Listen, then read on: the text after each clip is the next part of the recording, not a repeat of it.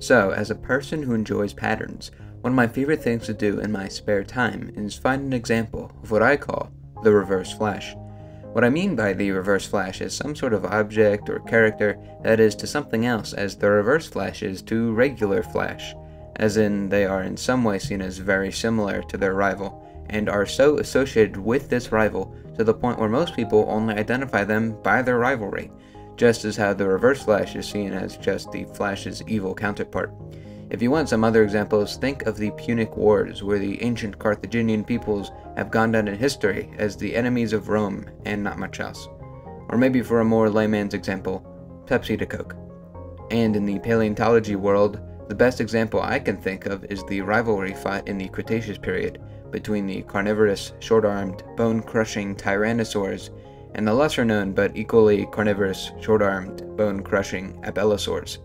I can bet a few of you have never even heard of abelisaurs, and others might just look at these creatures as a cheap knockoff of the iconic tyrannosaurs. But the other trait of a good reverse flash is that they go much deeper than public perception, similar to how Reverse Flash is an interesting villain despite his uncreative name. The Carthaginians were a unique and dominating people, whose legacy has only begun to be appreciated, and sorry, but Pepsi's better than Coke. Likewise, abelisaurs aren't just budget rexes, but instead an interesting group of predatory animals we now have some evidence of to truly appreciate how unique they are. Of course, we must actually get into the meat of the issue, which is what exactly makes an abelisaur. Well, abelisaurs are theropods first and foremost, and are unsurprisingly grouped into the taxonomic family Abelisauridae. These are further grouped into the clade Ceratosauria. Ceratosaurs are a confusing jumble of many different types of weird theropods, all of which are united by the fact that they are more closely related to the type species Ceratosaurus than they are to birds. This is opposed to the tetanurans, who make up a massive majority of the other theropod species and whose numbers would eventually evolve into birds. Ceratosaurus itself was a large, predatory animal who lived many millions of years before the first abelisaurs, and it shares many traits with its descendants. It has a robust skull with a few display horns, and a set of somewhat wimpy arms.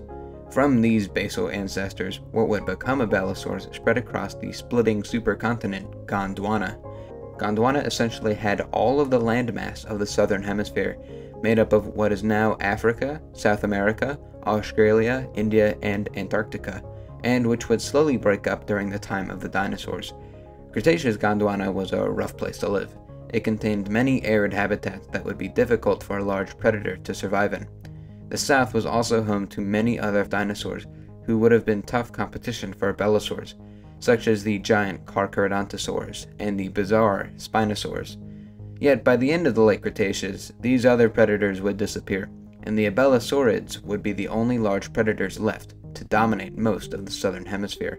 This is once more opposed to the tyrannosaurs conquering of Asia and North America, which made up the northern hemisphere at the time. And as abelisaurs came to conquer the southern continents, they also got much weirder. Firstly, their skulls became very robust and deep, making them look somewhat like bulldogs. Their powerful jaws were further reinforced by strong neck muscles.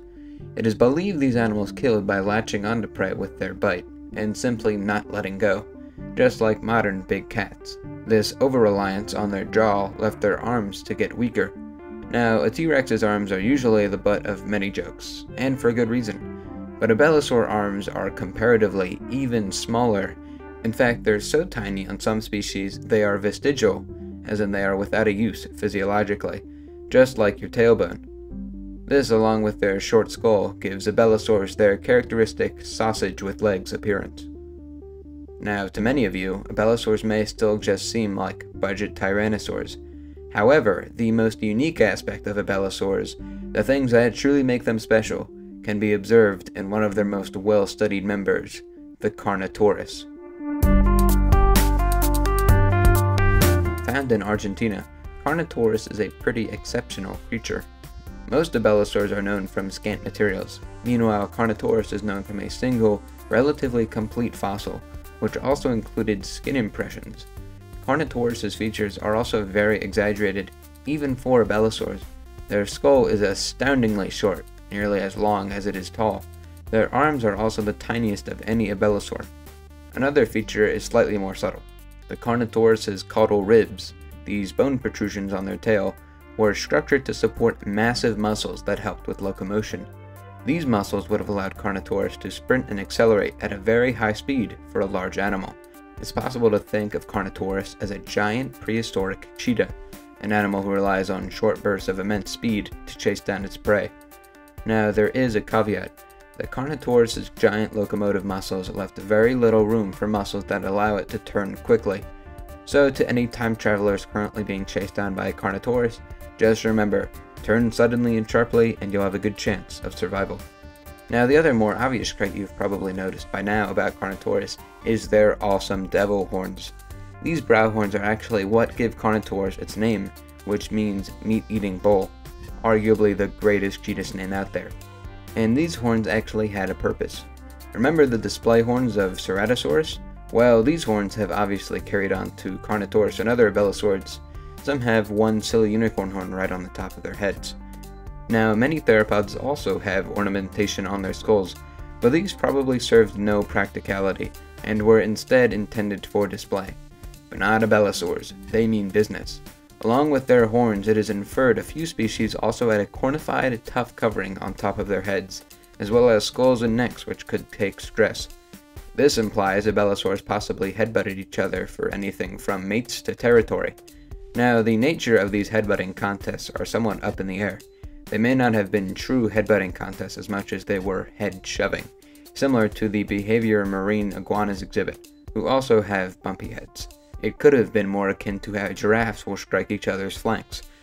Regardless, such behavior isn't seen in any other type of theropod, making abelisaurs one of a kind. But Carnotaurus isn't the only revolutionary abelisaur. Meet Majungasaurus, this abelisaur is one example of a dinosaur from the island of Madagascar, along with other dinosaurs such as the odd Masiakasaurus and the herbivorous Rapetosaurus. Of the island dinosaurs, it appears Majungasaurus was by far the apex predator, only rivaled by prehistoric crocodiles. Yet the confusing bite marks on their bones indicate there was something that hunted these abelisaurs, and it turned out these killers were actually other Majungasauruses, Yes, Majungasaurus is one of the few dinosaurs we have hard evidence for being cannibals. Of course, can you blame them? Prehistoric Madagascar was a tough place to live, and abelisaurs are stone cold survivalists. And if it takes eating their neighbor berry to continue, they'll do it. There's also evidence of abelisaurs being uniquely adapted to handle heat through their skin. Skin impressions show these animals may have had skin similar to reptiles and mammals who have to thermoregulate, such as elephants and their wrinkly, cracked hide. Now, as much as abelisaurs are rugged survivalists and possibly all brutal cannibals, they probably looked fashionable doing it. A study shows Majungasaurus' arms aren't as useless as once thought. Scars on the bone reveal muscles were attached to these arms that would allow them to move around to a certain degree, specifically flap in and out. It is speculated the arms might have been used for display, with bright feathers on the hands designed to flash a mate or attacker from the front in a confusing or attractive form of display.